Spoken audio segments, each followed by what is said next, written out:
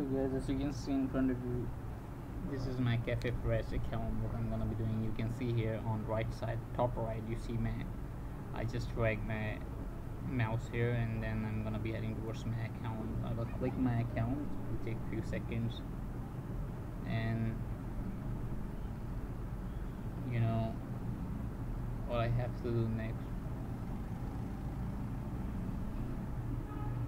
is to towards as you can see payment methods. I will click payment methods so I have no payment options here. So from um, from here you can add debit credit visa mastercard. In my country it's not possible but in your country it is possible. So you, now you know the process. You head towards your icon then you head towards payment method and then you will be able to have the debit card option here. Thanks for watching